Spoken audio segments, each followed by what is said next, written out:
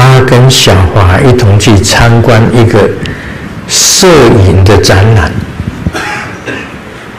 那么有一幅摄影的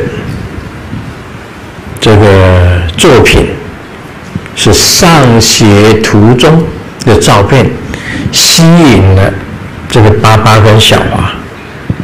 拍摄的里面的内容是一群孩子背着书包，嘻嘻哈哈的在走路。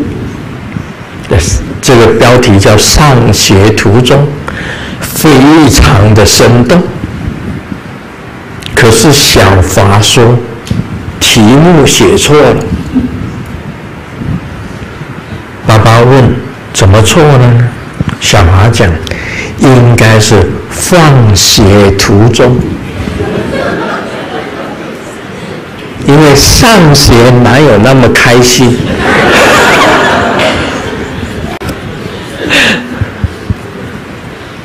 很有道理。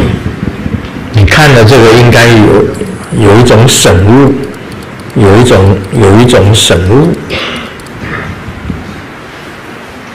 现在最快乐的人是谁？是瑜伽士，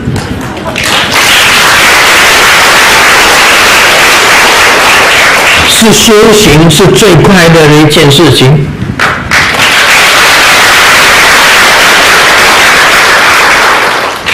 啊，不是说像那条歌一样，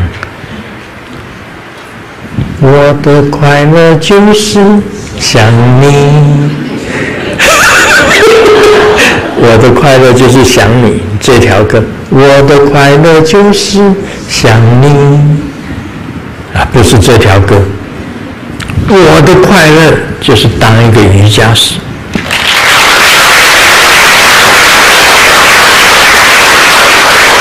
你当瑜伽士的，就了解世间法，世间所有一切的真谛。你了解了。出世间一切的真谛，你真的了解了真理，是瑜伽士终于他了解了真理，把真理实现了，这个就是瑜伽士，真正的瑜伽士。所以懂了这个道理啊，其实这个。漂亮不漂亮是另外一回事，漂亮不漂亮？